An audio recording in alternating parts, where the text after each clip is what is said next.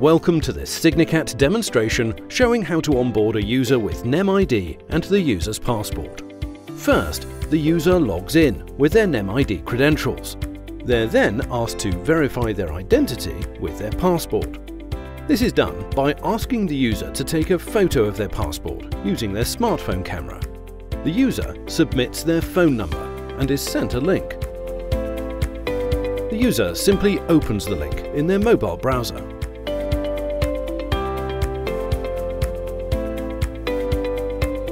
A template helps the user to get the best photo of their passport.